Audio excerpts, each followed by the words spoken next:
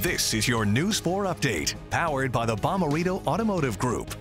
Good morning, I'm Paige Hulsey. This is your News 4 update. We start with breaking news from overnight. St. Louis police investigating a deadly shooting at or near a North St. Louis park.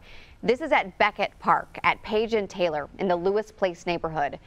The victim is a man. At least one, this is at least one of two deadly shootings overnight in St. Louis. And on Saturday, there were multiple shootings in St. Louis with at least nine people wounded and one killed. We do have new information on a bizarre Molotov cocktail attack in St. Charles. Two suspects have been arrested. One is a 16-year-old girl being held by juvenile authorities.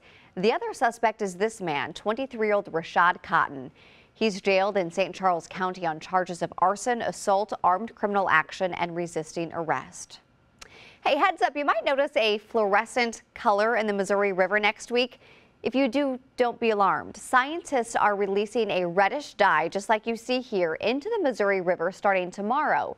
It's an effort to study pallid sturgeon larvae. Researchers are trying to map their travel.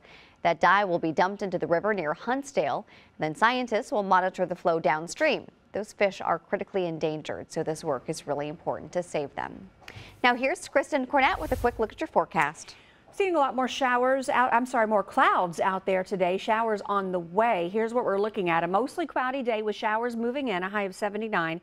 Could hear a few rumbles of thunder. As far as the timing goes with that, uh, I think we're dry through at least lunchtime. By mid-afternoon, about a 30% chance of rain. The probability of rain really ramps up by the late afternoon, and I would count on the rain by this evening. Rain likely again, perhaps a few rumbles of thunder as temperatures fall back through the 60s. Now, tomorrow we have a severe weather threat.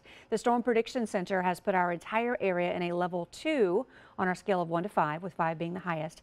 Level two threat. What we're looking at here is the potential for large hail and damaging winds. The timing on that is going to be after dark. We're talking uh, after 6 p.m., probably coming in from the northwest in the St. Louis area, very likely after 9 o'clock. So evening hours and into the overnight. That's why we're calling Monday a weather alert day.